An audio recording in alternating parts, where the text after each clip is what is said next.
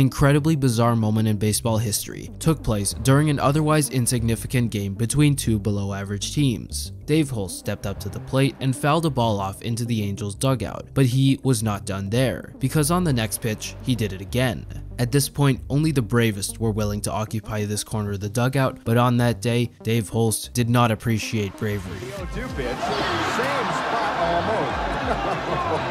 Once the team was properly bunched up on the correct side of the dugout, Hulse sent one more message just for good measure.